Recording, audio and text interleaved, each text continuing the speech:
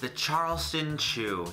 Chewy, chocolatey, 99 cents at your local Walmart, a true American staple. The Charleston Chew Mini, about 1 32nd the size of its predecessor, just as tasty, not quite as satisfying though. What do we have here? A train wreck waiting to happen, that's what we have here. What's going on peeps? Welcome back to this week's Bad Idea. Now after countless hours of scouring the internet left and right trying to find a candy that someone hasn't giantified yet. You have Timmy Tomato, the king of all things giant. I mean, there was very little things that have not been done yet. But finally, I finally found out, at least to my knowledge, that no one had ever tried to make a giant Charleston Chew mainly because they're not that popular, but I really like them. Now this is probably gonna take me a couple days and a big hit out of my wallet, but let's just jump into it. Now before anything else, you have to prepare the mold for your candy to get a sense of how big and how much supplies you're gonna need and stuff like that. So I discovered this disgusting old dusty box from my basement. Sorry dad for stealing it from you. This thing is probably twice my age, but we're gonna roll with it. To make it easier to work with, I cut off the top flap of that but now, what we basically have to find is an object to fit inside of it so it can hold the cavity for the filling of the Charleston Chew. It'll make sense when you see what I'm doing. But all I can really find that would work is this much smaller box. The only problem is it's a lot shorter. So what I ended up having to do was basically taking a piece of cardboard and blocking off about 5 inches of the end of the bigger piece I secured that on the top and the sides with some duct tape and I also wrapped the entire thing with duct tape. I'm hoping this will give it a little more structural integrity because I'm sure once we load this up with 10 pounds of chocolate it's gonna want to bow out a little bit. And once that all looks set, I began to wrap the entire inside with some parchment paper. I wrestled with this paper for about 20 minutes until I was able to tape it all around the sides. I also used some paper clips to secure it because unbeknownst to me, not only does food not stick to parchment paper, duct tape doesn't stick either. It's a good quality product, I guess. Once the entire inside of that was lined with the paper, I put that aside and then grabbed my smaller box, wiped it down really quick with a wet rag, and then wrapped that really, really tightly in aluminum foil. Now this might seem unnecessary to you, but trust me, you're gonna wanna do it. I actually went back and taped every single seam where the tin foil either started or ended because if you don't, the chocolate's gonna wanna seep underneath there and then the tin foil's gonna get stuck in your chocolate. It's just gonna save you a headache, so go back and do it. And now that our two molds are looking pretty good, we can actually start on the food portion of this. God help us. Now, was 10 bags or 12 pounds of chocolate chips necessary for this project? We will find out. Either way, they're already purchased, so we might as well make use of what we need. I tried to make the biggest double boiler that I could possibly make with a big saucepan and then a smaller one on the side, resisting every urge in my body to start remembering the last experience I had with a double boiler and chocolate. I still have nightmares about that video, not gonna lie. After a few minutes of mixing the chocolate chips and getting them really melted down and silky smooth, I took them off of the heat, added in a few more cups of the chips, and then used the heat from the melted chocolate and the pan to melt the rest. Again, the last time I did this, it seems like all the work was for nothing, so I'm trying to stay positive today, you know? Maybe second time, actually uh, 18th time is the charm. But once all of the chocolate has finally melted down, you can begin to pour it all in the bottom of your box. Now, I really don't have exact dimensions on this box, but I do know that I used about five pounds of chocolate for this first step, so uh, take it as you will. But I threw in the secondary box inside the middle and tried to press it down in the chocolate so it kind of seeped up the sides. My goal was to leave about a half inch of chocolate all around the side so hopefully it'll be strong enough to support itself and not crack so easy when I pick it up later but in order to keep that box firmly down into the chocolate I had to throw some more tape on it. Then I just threw that into the fridge for the night and waited for day two. When day two finally came around, I was really excited about this. You know, it looked like all the chocolate had set properly. I started to take out the middle of the box, which I'd be putting it very lightly if I said that this middle box wrestled me till the very end. I ended up having to chop it up and take it out piece by piece, which I was hoping to not have to do, but either way, it came out just as good as I was hoping.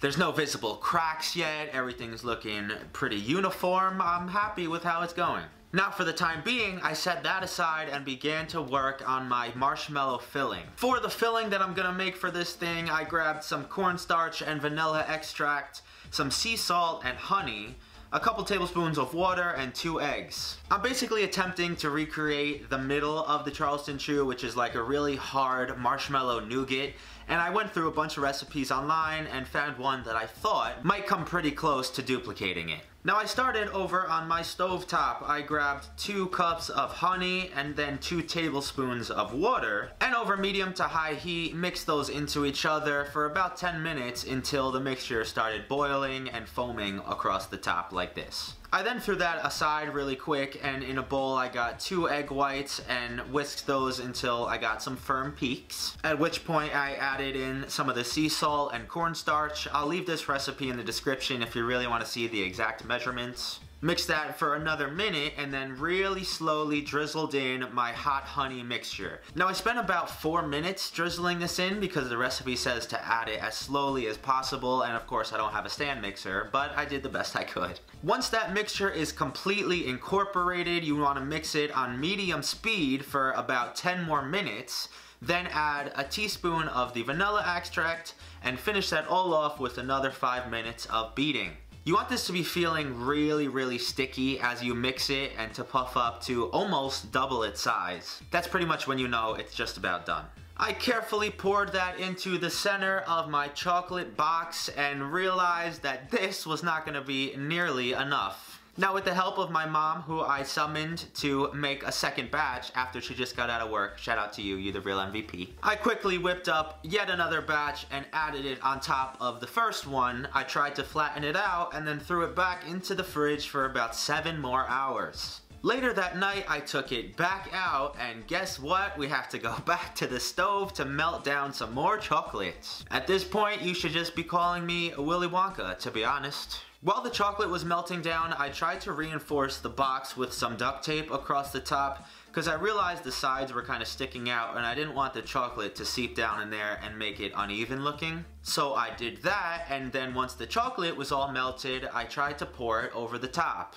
The duct tape was a bad idea. I guess the really hot melted chocolate kind of heated up the marshmallow filling and then wherever I hadn't initially poured the chocolate, the marshmallow kind of poked up. And I didn't even melt enough chocolate to fill up the rest of the box. So this is taking a sudden but drastic nosedive. I very quickly grabbed some weights and secured the sides while I cut off the duct tape.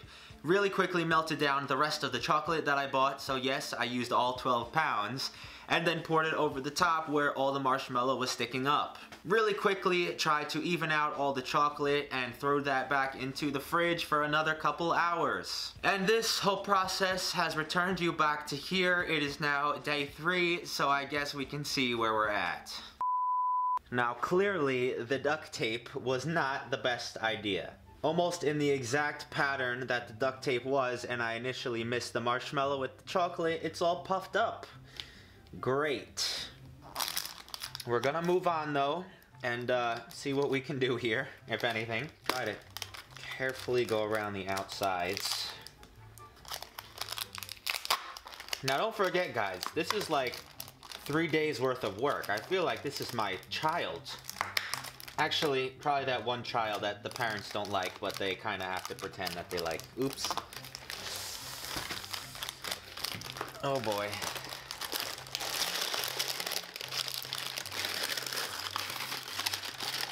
Yeah! Oh my god. This right here is what dreams are made of, kids. Now, if I really wanted to or had the patience, I could probably go through and try to melt down some of the imperfections along here, but I really have neither one of those at this point. Here's a, a comparison shot. Ready? This is the size of the normal one. It's half eaten because I've been eating it during this video. Now here's the middle. Here's what the middle looks like of your typical candy. God help me and my fingers while I'm trying to cut this thing. I feel like I'm slaying a dragon or a 25 pound candy bar. Ooh. Yo. This looks really freaking good, guys. Oh my gosh. Okay, there's a piece of tape on it. Honestly, like, look how accurate this is. This is the original one. I'd say that's friggin' spot on, honestly. Okay, enough chatting. It is time to try. I'm so friggin' excited for this, man. Like, I put more hours of work into a candy bar than Prank Invasion does into his fake videos that get 10 million views. Anyways.